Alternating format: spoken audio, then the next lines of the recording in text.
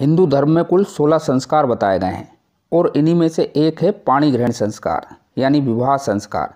इसी तरह हमारे शास्त्रों में विवाह के भी कुछ प्रकार बताए गए हैं।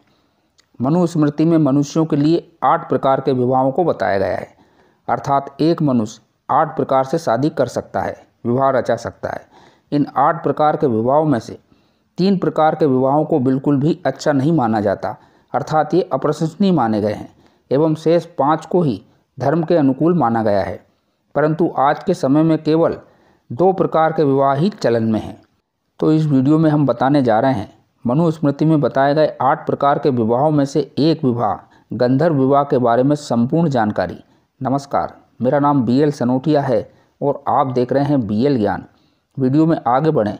उससे पहले यदि आपने हमारे इस चैनल बी एल ज्ञान को अभी तक भी सब्सक्राइब नहीं किया है तो चैनल को सब्सक्राइब ज़रूर कर लीजिए। साथ ही यदि वीडियो और वीडियो में दी गई जानकारी पसंद आए तो वीडियो को लाइक और ज़्यादा से ज़्यादा शेयर भी कीजिए।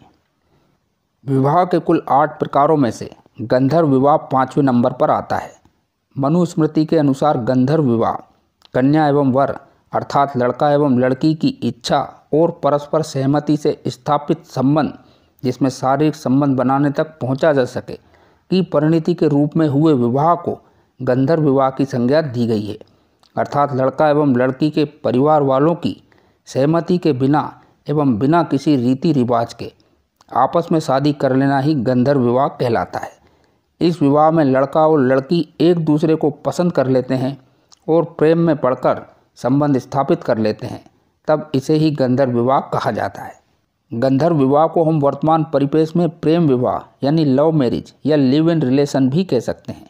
गंधर्व विवाह के अनुसार यदि एक पुरुष व कन्या एक दूसरे से प्रेम करते हैं, फिर चाहे वह ब्रह्म विवाह के नियमों के विरुद्ध भी क्यों न हो, तब भी उनका विवाह मान्य होगा। अर्थात एक पुरुष कन्या के अलग वर्ण, जाति, समुदाय से ना होते हुए भी या कुछ और कारणों से भी मेल नहीं हो पा रहा हो, फिर भी यदि वो आपस में प्रेम करते हैं और परिवार वालों की अनुमति के बिना शादी कर लेते हैं तो उसे गंधर्व विवाह ही कहा जाएगा और धर्म के अनुसार वह विवाह मान्य भी होगा। उसे कोई झुटला नहीं सकता। गंधर्व विवाह में वर वधु की जाति, वर्ण, कुल, रंग, रूप, पद, प्रतिष्ठा, धन, परिवार, कुंडली, राशि इत्यादि कुछ भी नहीं देखा जाता। इसमें केवल कन्या व पुरुष का आपसी प्रेम व आत्माओं का मिलन आवश्यक होता है। हालाँकि गंधर्व विवाह के भी कुछ नियम तय किए गए हैं, जैसे कि कन्या व पुरुष दोनों अपने ब्रह्मचर्य आश्रम की आयु से निकलकर गृहस्थ आश्रम की आयु में प्रवेश कर चुके हों अर्थात दोनों बालिग हो चुके हों। इनमें दोनों की पूर्ण रूप से सहमति हो तथा किसी प्रकार का सौदा, पैसों का लेन देन और ज़बरदस्ती न की गई हो। अग्नि को साक्षी मानकर ही विवाह किया गया हो व किसी प्रकार का धोखा न किया गया हो।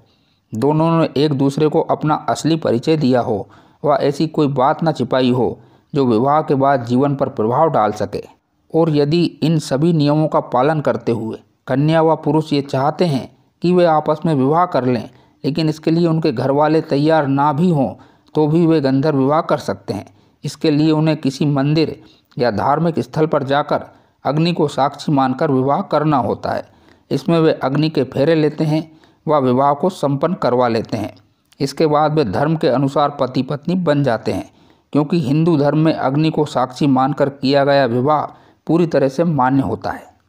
इस तरह जब कन्या व पुरुष गंधर्व विवाह कर लें, तब वे अपने परिवार के समक्ष आ सकते हैं व उन्हें अपने विवाह की सूचना दे सकते हैं। समाज में कोई भी, चाहे वह उनका रिश्तेदार हो, मित्र हो, या जानने वाला हो, कोई भी उनके विवाह को झुटला नहीं सकता, क्योंकि धर्म उस विवाह को मान्यता प्रदान करता है। भारत के इतिहास में भी कई गंधर्व विवाह हुए हैं, जिनमें सर्वश्रेष्ठ उदाहरण राजा दुष्यंत व शकुंतला के विवाह को दिया जा सकता है। दोनों का विवाह गंधर्व विवाह की श्रेणी में ही आता है।